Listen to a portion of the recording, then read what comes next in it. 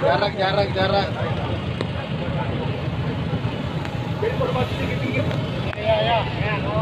Lawan corona. Jarak, jarak, jarak, jarak satu meter pak. Dua dua di sebelah samping Pak Daniel Brimob. Dua. Hop, hop. Ya.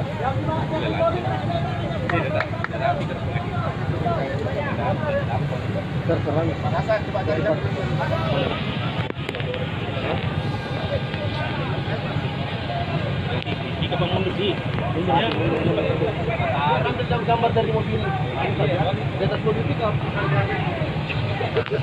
Pick up gitu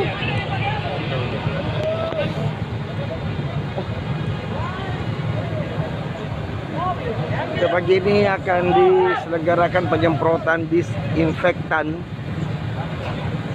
secara masif bertepatan dengan penyemprotan di seluruh wilayah Republik Indonesia. Untuk Sulawe- untuk Sulawesi Selatan, Kabupaten Bone adalah mengikut pada jadwal Indonesia Tengah yakni pada pukul 10.00 untuk bagian barat waktu Indonesia pada pukul 9.00 dan bagian timur waktu Indonesia pada pukul 11.00 berarti pada saat ini juga di seluruh wilayah Republik Indonesia. Mengadakan penyemprotan disinfektan. Secara bersamaan pada pagi hari ini. Dan kepada seluruh masyarakat khususnya yang ada di wilayah Kabupaten Bone Tangan izin untuk benar, tangan. tidak berada di jalan pada saat ini eh, karena Kepala yang di depan kepala disinfektan ini eh, tidak untuk tubuh manusia tapi untuk benda-benda mati yang ada di sekeliling. Tiga. Ya. Oke. Jadi mohon guna melancarkan aksi ini agar seluruh masyarakat khususnya yang ada di Kabupaten Bone atau seluruh Indonesia yang menyaksikan siaran langsung ini untuk tidak berada di jalan. Utamanya jalan-jalan yang akan lalui penyemprotan ini pada masyarakat tetap diimbau diminta dengan segala hormat segala kerendahan hati untuk tetap berdoa tetap berzikir berdoa kepada Allah Subhanahu wa taala agar daerah kita terhindar dari wabah COVID-19 virus corona ini. Tapi tidak tahu di mana Kita, kita doakan. Oh, ya. semoga ikhtiar kita ini Ada mendapat ridho dari Allah Subhanahu wa taala. Sehingga tidak lama lagi Indonesia kita akan lepas dari ancaman COVID-19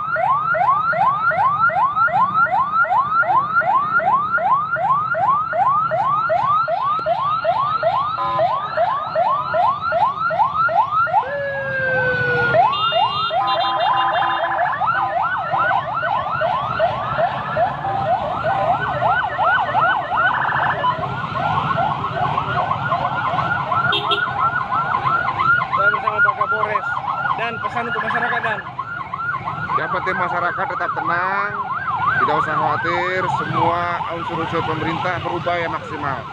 Jaga diri, jaga kesehatan, taati aturan pemerintah.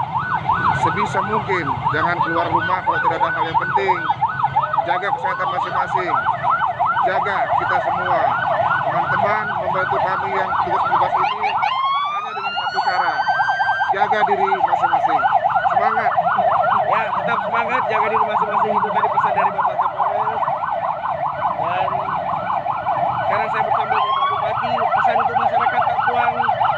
Saya berharap mari seluruh masyarakat kita memiliki rasa tanggung jawab untuk melawan virus ini.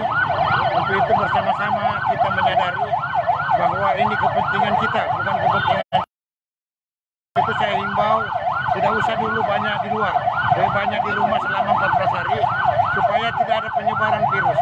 Saya berharap dengan mohon dengan sangat kepada jadi mana teman-teman kuningnya sudah surat bu, tak jaga ya leta, tak jaga pak banuai. Karena dengan cara begitu kita bisa memotong mata rantai penyebaran virus. Selamat Ki, Kata sana selamat. Ya, Bapak Bupati sangat mencintai kita sekalian. Oleh karena itu tetap berdoa, tetap disiplin, teratur untuk memotong mata rantai penyebaran virus atau COVID-19 ini. Ini di sini ada Bapak Dandim juga dan pesan untuk masyarakat kita dan Halo, Assalamualaikum warahmatullahi wabarakatuh. Berpesan kepada masyarakat Bone di mana pun Anda berada, mari kita membantu pemerintah untuk tetap di rumah saja. Itulah cara yang paling ampuh untuk memutus mata rantai penyebaran virus corona. Tidak ada yang lain. Terima kasih. Wassalamualaikum. Ya, Dandim juga sangat cinta kepada kita sekalian. Oleh karena itu, mari kita mendukung tetap di rumah. Jaga keluarga kita sebab pencegahan COVID-19 ini sebenarnya bukan di tangan kepala negara, bukan di tangan kepala daerah, tapi sepenuhnya ada di tangan kepala keluarga. Kalau kita teratur, kita disiplin, insya Allah Corona segera berlalu. Assalamualaikum warahmatullahi wabarakatuh.